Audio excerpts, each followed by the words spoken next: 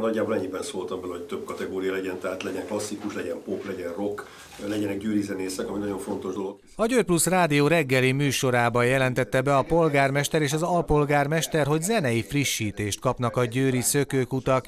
Dr. Dézsi Csaba András elmondta, mint mindenben, ebben is kikérik a győriek véleményét, így az emberek dönthetnek arról, milyen számok szóljanak a megyeháza előtti és a Mosoni Duna Rába összefolyásánál lévő szökőkutakból zenekedvő ember vagyok, és nagyon fontosnak tartom azt, hogy a győriek meg tudják mondani azt, hogy mit szeretnének sok tekintetben, vagy lehetőleg minél több tekintetben, és az egyik ilyen ez, hogy milyen zene szóljon a szökőkutakban, hiszen ez rendszeresen meg fog szólalni nap mint nap, többször.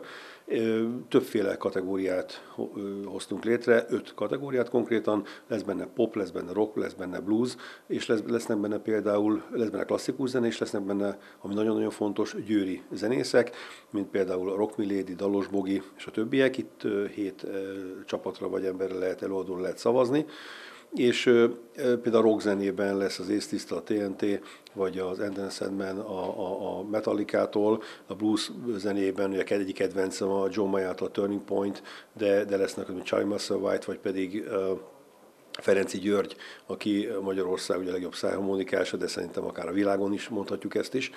Úgyhogy lesznek klasszikus zenék és popzenék. A popzenét nem igazán tudom felsorolni, de hát ezt hozzáértő fiatalok összeírták, hogy miket hallgatnak mostanság a fiatalok. Úgyhogy én azt gondolom, hogy nagyon fontos az, hogy a gyűriek olyan környezetbe éljenek, amiben jól érzik magukat, és az zene nagyon fontos része az életünknek. Úgy gondolom, hogy ezt döntsék el a gyűriek, hogy mit szeretnének hallgatni. Én is fogok szavazni, de nekem is csak egy szavazatom van, mint ahogy mindenki másnak. Öt műfaj legjobb zenéi közül választhatnak a szavazók, akik pop, rock, blues és komoly zenékre voksol tapsolhatnak, de a győri zenészekről sem feledkeztek meg a kitalálók.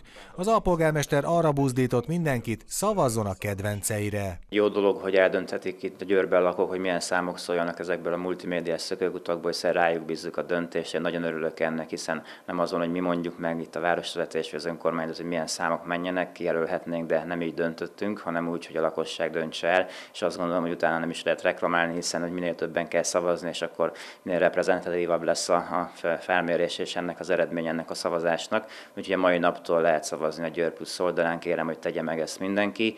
Ezek a szökőkutak, ugye, ami a megyeháza téren található, fel lett újítva nemrég, akkor kapott ilyen zenei lejátszási lehetőséget, és ugye este pedig fényjáték is működik, a másik pedig ugye a Rába és a Duna találkozásánál lévő, ott is fognak menni különböző számok, ahogy eldöntik a győriek, úgyhogy azt gondolom, hogy nagyon jó lesz ez, hogy május 1-től új számokat fogunk hallgatni. Szavazni mostantól egészen március 20-áig lehet a Győr Plus honlapján, ahol néhány pillanat alatt könnyen ki lehet választani, mit hallanánk viszont a két szökőkútból. Az első helyezett dalokat a megyeháza téri, a másodikakat pedig a folyók találkozásánál lévő szökőkút játsza majd.